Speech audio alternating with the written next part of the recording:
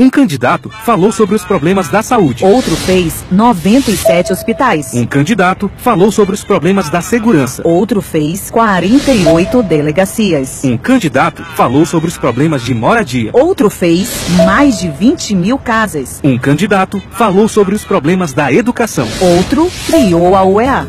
Só falar não resolve os problemas. Amazonino fez muito mais do que apenas falar.